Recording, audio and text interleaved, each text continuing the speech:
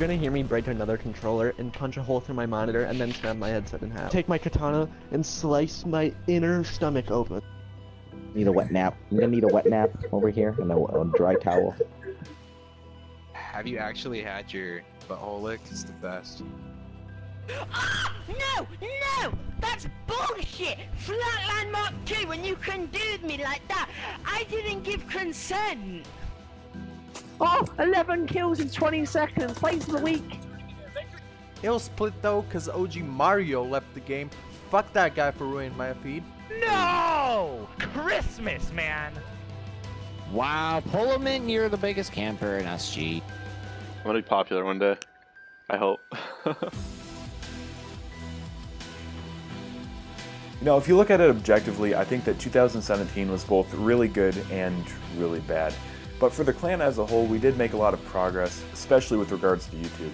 We began uploading regularly at the end of the summer, and that resulted in 30 new videos and a quadrupled subscriber count. And I hope that we're able to continue that trend in the new year with the help of many contributors and commentators along the way. So back in June, we did what later became known as the first ever SG road trip. I drove north to Iowa to pick up Steve, and then from there we went east to Michigan where we met up with Kava and Ultra. Now there's a lot that I could tell you about this road trip, and there was a lot that I probably shouldn't tell you about the road trip, but what I will say is that it was definitely one for the books, and bringing our gaming relationships into the real world is something that I've really enjoyed, and I think that it's something that we should continue to do in the future. A lot of the Veteran Republic Commando players, such as Lightning, Centrio, Alice, Shock, Admiral, and myself, in addition to the clan founders Mom and Blitz, returned for a 1v1 tournament in July. Although none of us won the tournament, it was pretty cool to entertain the nostalgia, at least for a couple weeks, and return to the pre-Call of Duty days. So we're always very appreciative of our sponsors, Jerky Pro, Catalyst Mints, and Cinch Gaming.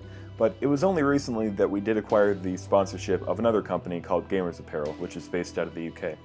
With their help, we'll be opening our first ever team apparel store very soon, and it's been awesome working with Jamie and his colleagues, so I, am really looking forward to what we'll be able to get done in the coming year. Personally, I really enjoyed Infinite Warfare, and I didn't want to leave it. I know a lot of other people felt the same way, but with the new Call of Duty coming out, it you know it made sense to kind of wrap that up and move on to build the MWR team and practice up before boots in the ground became the norm again. But Unfortunately, all of that was brought to a complete halt back in October when tragedy struck. Clan director Ethan Fargo, known in-game as Rebel 1615, died after a motorcycle accident. Ethan was a charismatic figure from the day he tried out until the very end. He loved recruiting new members, dropping nukes, and most importantly of all, getting to know his clanmates through late-night game sessions. You could talk to him about, about literally anything without fear of being judged, and he would always be more than happy to listen.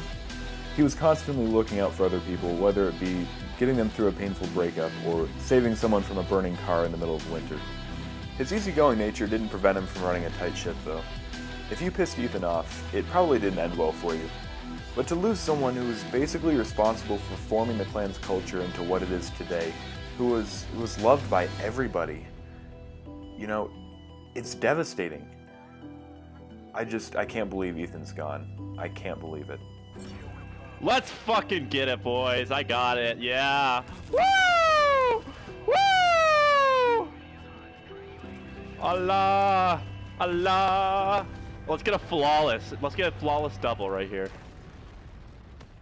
When I went to New Hampshire for the funeral arrangements, his mom gave me a hug and she said to me, That team meant so much to him. We're going to bring the stream team back better than ever before. As far as YouTube is concerned, we'll keep uploading and eventually get to 10,000 subscribers. Ethan showed us the way to greatness without compromising our integrity, and we're going to make that mean something.